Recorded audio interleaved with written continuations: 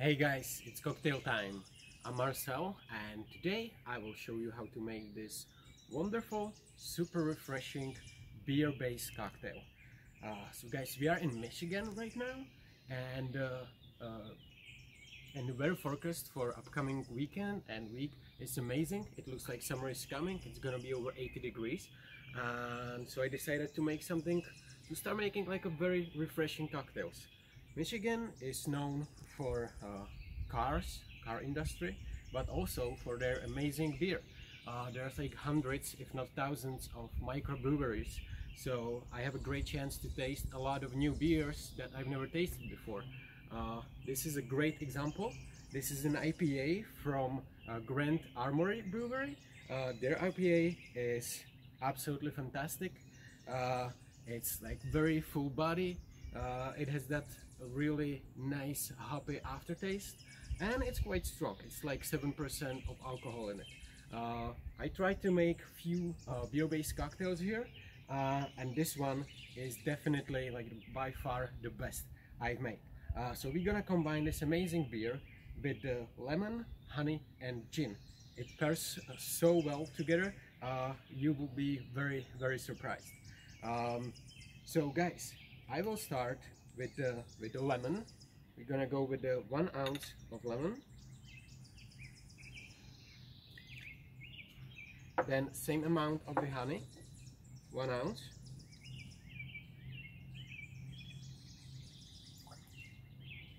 Then I go with one and a half ounce of gin. So one and a half ounces.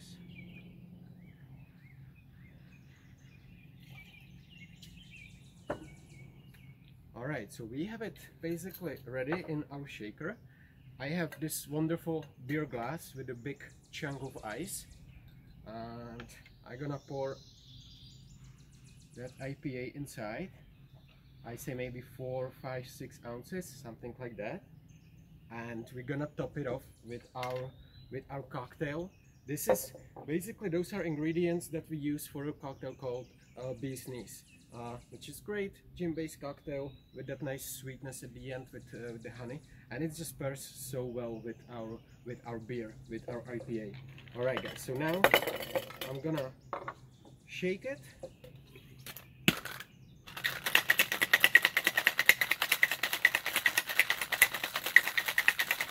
all right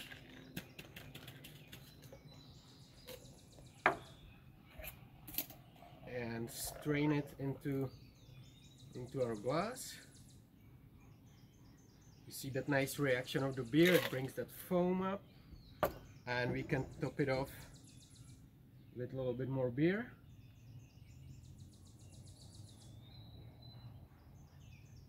And here we go. Use a little garnish like lemon wheel here.